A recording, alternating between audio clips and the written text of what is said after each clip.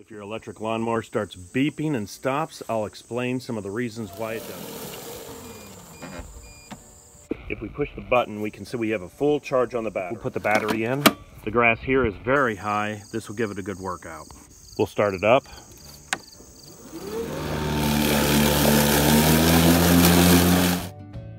And you can see now that the mower has stopped and now it's making a beeping sound. When we try to start it again, it won't.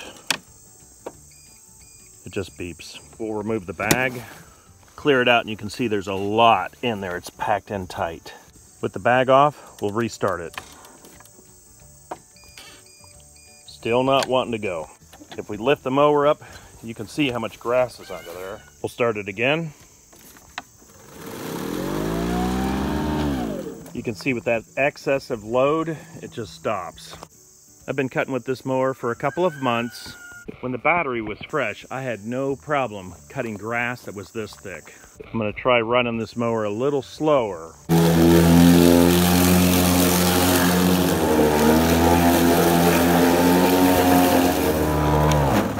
If I run it slower and keep the bag clear, it's working better. I just keep clearing it out. There's no doubt that this is a pretty heavy load.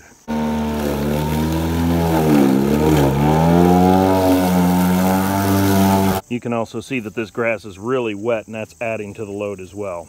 When the battery wears down, it's not gonna cut as aggressive. I've only had this mower for a couple of months and I can already feel that the battery's not as strong as it was.